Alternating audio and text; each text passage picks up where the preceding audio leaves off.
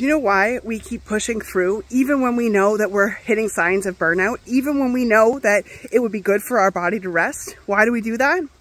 Couple of reasons. Reason number one is that we can't stop. There is no stopping. We can't leave our life. We can't leave our job. We can't leave our kids. We have to keep pushing through. Reason number two is because our old programming tells us that we cannot rest. We cannot take a break. Taking a break means weakness. Taking a break means failure. Taking a break means that we have to admit defeat.